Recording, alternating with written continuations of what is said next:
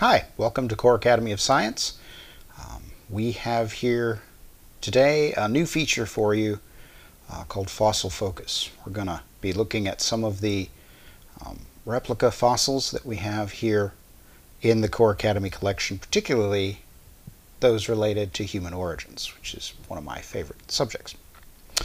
So today, on our first fossil focus, we have for you a replica of the very first um, fossil hominin found in Africa that is of scientific significance.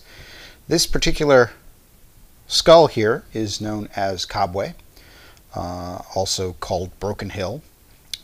It was found by miners in Kabwe, Zambia. They were mining for lead and zinc at that mine.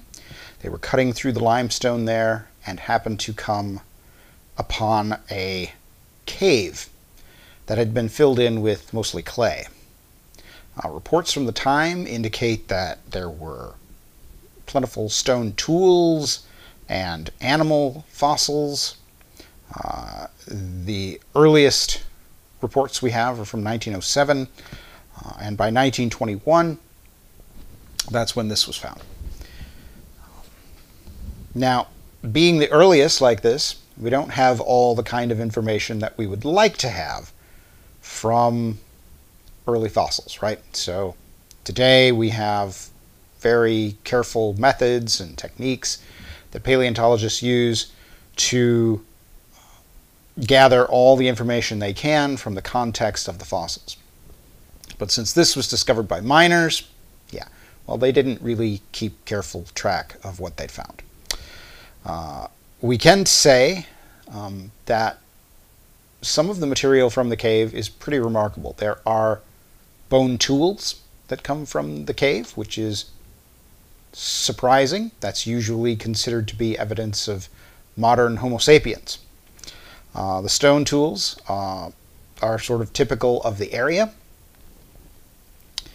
Uh, and the other remains, there were other human remains found uh, in the same area. It's not exactly clear from the descriptions exactly how they were found, but there was at least one leg bone and one arm bone that was discovered. And uh, those things appear to be very similar to modern Homo sapiens. Not exactly, right? Uh, but similar. The cranium here is remarkable you can see, comparing to this uh, model of a Homo sapiens cranium, this guy has a rather pronounced, uh, what we would call a brow ridge, right? And in modern Homo sapiens, the forehead, the, the frontal bone here comes right out to the forehead and creates this, this massive forehead that we have. This guy, he did not have that kind of a forehead. You can also see that the, the brain case, however, is quite large. Uh, so this is not the kind of a fossil intermediate form that would be claimed to be evidence of human evolution, where you have a very small brain case. This clearly has a really large brain case. So what exactly is the Kabwe cranium? That's a good question.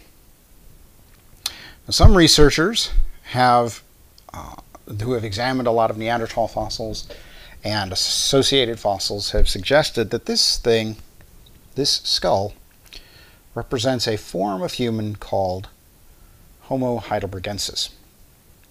And it's named after uh, this. Uh, this is a model of the Mauer mandible, discovered in 1907 near Heidelberg, thus the name heidelbergensis. Uh, and it is said to uh, share characteristics with uh, this skull, with uh, skulls from uh, a skull from Ethiopia called Bodo, a skull from Europe called Petralona from Greece, and possibly even some Asian skulls. So there's a suggestion here that these all sort of group together to form this species called Heidelbergensis. And then the question is, well, what exactly is Heidelbergensis? So on an evolutionary tree, the suggestion is that possibly Heidelbergensis is the thing from which modern Homo sapiens and Neanderthals is, are supposed to have evolved. Uh, is that really what this is? Well, from a creationist perspective, I don't think we're looking at necessarily something uh, evolutionary like that. Um, I think this is this shares enough characteristics with what I know to be human from various other lines of evidence that I have I'm pretty confident in saying that Kabwe here is very likely to be human. The big question is, well, if it's human, then what's it doing way down there in Africa at such an early radiometric date? So the the guesstimate, and this is really hard to do because we're not entirely sure about all the contextual details. All of that stuff was lost.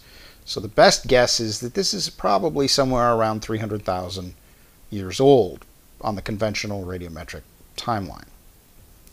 Um, and that's considerably before the the earliest signs of civilization that we see in uh, the Middle East, for example, or in Asia. So, yeah, so that raises an interesting question. What is what are people doing down there, and, and what does this mean for the Tower of Babel, and what does this mean for dispersal after the flood? Uh, and those are questions that we at Core Academy are really interested in pursuing and studying. And we'd love for you to follow us uh, on social media or our website or go to humangenesis.org to learn more about our work and uh, perhaps even help support us. Thanks for watching.